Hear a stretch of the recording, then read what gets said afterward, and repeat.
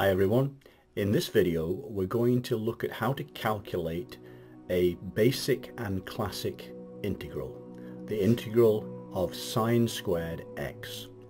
Let's do the maths.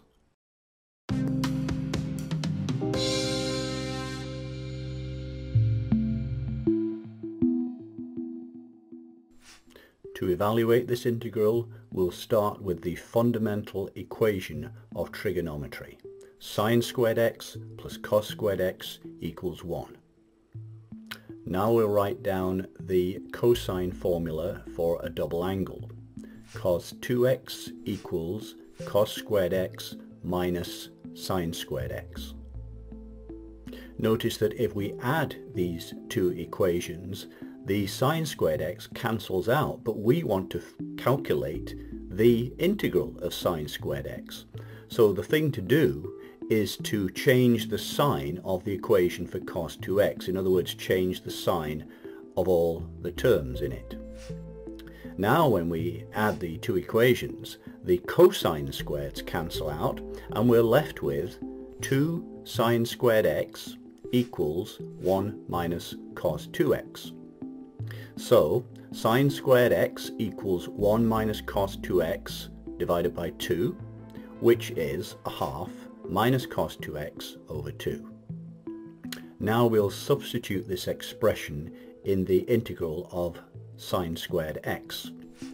The integral of a subtraction is the subtraction of the integrals. So we have the integral of a half minus the second integral from which we can take out the half that leaves us with the integral of cos 2x and since the derivative of 2x is 2, we need this 2 in the integral and to compensate we multiply by a half. So we have a half x minus a quarter times our integral which evaluates to sine 2x plus c where c is in R.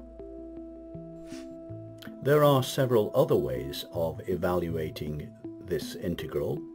For example, you can write the integral as the integral of sine x times sine x dx and then apply integration by parts, putting u equal to sine x and dv equal to sine x dx. You might want to try this out uh, for yourself. Another option when we have the integral of a function that's even in sine and cosine is to make the change of variable t equals tan x.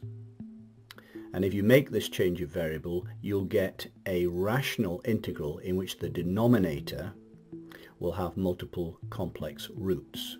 It's a good exercise to try it this way, although obviously it comes out longer than the previous methods we've described. I hope you found this little video helpful and interesting.